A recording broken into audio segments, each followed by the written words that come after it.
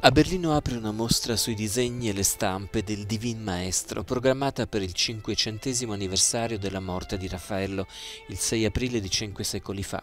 Al Cooper Stick Cabinet appare il meraviglioso tratto dell'artista che accende il suo lirico teatro di figure umane celesti, sono lavori raramente esposti questi che consentono di esplorare l'eccezionale portata creativa del manierista.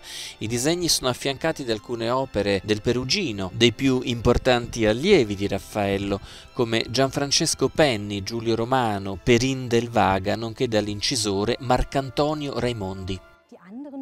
Queste immagini mostrano lo scambio diretto tra Raffaello e i tipografi del suo tempo.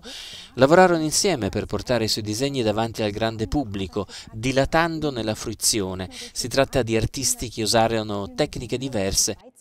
Qui abbiamo principalmente calcografia e incisioni su legno.